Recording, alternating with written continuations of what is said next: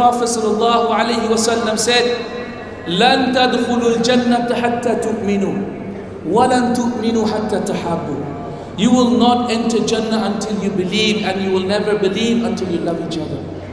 And this is the essence of love. And this reminds me of the hadith of Rasulullah sallallahu alaihi wasallam where he said in that beautiful hadith, verily Muslims to another Muslim, Muslims to, to their brothers are like parts of one single body. If one part is diseased, then the rest of the body then tries to cure it by becoming hot, by being sick, by feeling sick. And this is exactly the way we should be. How can we rest today when our brothers and sisters are not resting? How can we feel satisfied today when our brothers and sisters are not satisfied?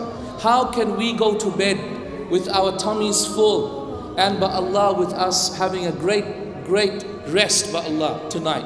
How can we do that when thousands and millions of our brothers and sisters from Darfur to Chechnya to Kashmir to, to Palestine and you name it are going through some of the most difficult times by Allah? My brothers and sisters in Islam, I ask you all to feel brotherhood in your heart. Brotherhood and sisterhood of Islam, this love that Allah subhanahu wa ta'ala has planted in our hearts is the most beautiful thing that Allah, it's a pleasure, it's a gift that Allah subhanahu wa ta'ala has given us. Rasulullah sallallahu alayhi wa sallam told Umar to go for Umrah. So Umar radiallahu anhu went for Umrah. When he went for Umrah, he caught Umar's hand and he grabbed it in his hand and he said, Ya akhi, la tansana min ad-du'a. Ya salam. The Prophet sallallahu alayhi wasallam telling Umar radiallahu anhu, Ya akhi, my brother, do not forget me in your dua. So Umar radiallahu anhu said, Wallahi, the Prophet sallallahu alayhi wasallam said a word and he called me a word for which I would sacrifice the heavens and the earth if Allah had given it to me. What was it? Ya akhi, my brother. My brothers and my sisters in Islam, brotherhood and sisterhood is one of the most valuable things Allah subhanahu wa ta'ala has given us. It is stronger than blood. It is stronger than the ties of kingship. My brothers and my sisters in Islam, we are all from each other. Stronger in ties by Allah than ties of blood. In the beautiful incident that has been reported by Ibn Hisham in his seerah, it was reported that in the Battle of Badr, in the Battle of Badr, Mus'ab ibn Umair radiallahu anhu was passing by while some of the people, the POWs in the Battle of Badr, had their hands tied up. So Mus'ab ibn Umair passed by a man, and a man had his hands tied up very, very hard. So Mus'ab passed by and he saw this man, this Ansari was tying his hands up. So Mus'ab ibn Umair said, Ya akhi, my friend, tie his hands harder. This man, his mother is rich. She will pay a lot of money. So this man looked up and said, Mus'ab, I'm your brother, blood brother. Do you know what Mus'ab said? Mus'ab said, Uskut, innahu akhi dunaka Keep quiet. He is my brother today rather than you.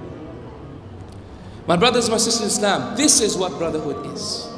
It transcends all blood barriers.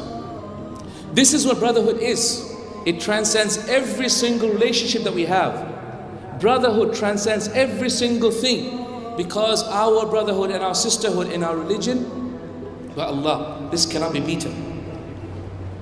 Umar radiallahu anhu, it was reported that there was one thing that would cause Umar to not sleep well. Umar used to say, I always used to sleep well except when I remember two of my brothers, Mu'adh ibn Jabal and Abu Ubaidah ibn Jarrah. He said, I used to love these two brothers of mine so much that whenever I remembered them, I could not sleep at all. My brothers and sisters in the audience, do you have friends like that? People that you love so deeply and dearly, you wish that they were your brother and sister in blood. Because subhanAllah, this is what brotherhood and sisterhood is. That by Allah you can hardly sleep except if you're in their presence or with them or have met them, subhanAllah. When the believers are on the Qantara, which is the last plane before the gates of the Day of Judgment, gates before Jannah, then it is reported that Allah subhanahu wa ta'ala will at that point divide between the believers and fix their problems with each other. So at that point, any believer who has a problem with another believer will say, Oh God, this person, he wronged me.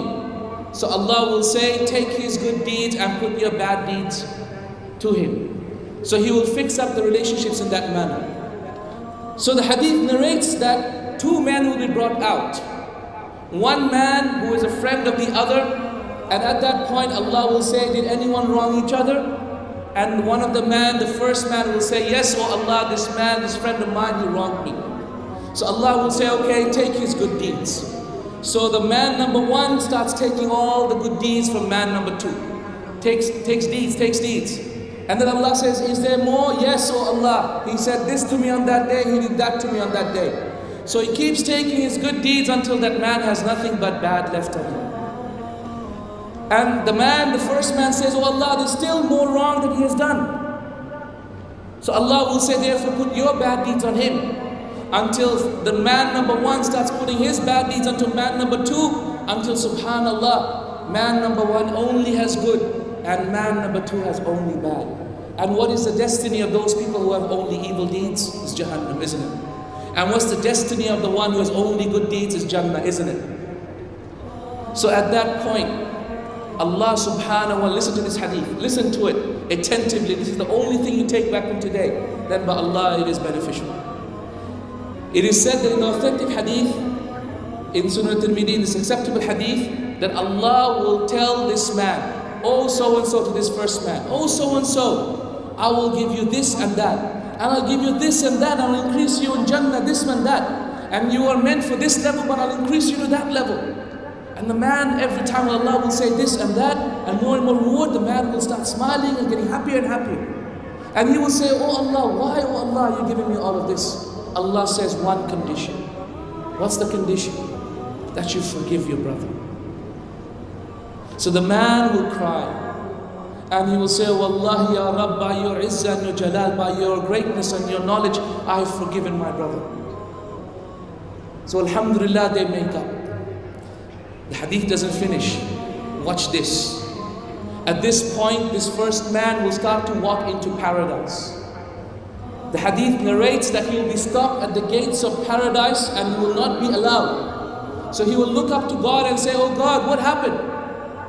I thought you let me enter paradise and I have only good deeds and I've forgiven my brother. Let me enter. And Allah will tell him, Enter into Jannah with your brother's hand in your hand. لا إله إلا الله إنما المؤمنون إخوة فأصلحوا بين أخويكم ولا تفرقوا واذكروا نعمة الله عليكم إذ كنتم أعداء فألف بين قلوبكم فأصبحتم بنعمته إخوانا فأصبحتم بنعمته إخوانا وكنتم على شفا حفرة من النار فأنقذكم منها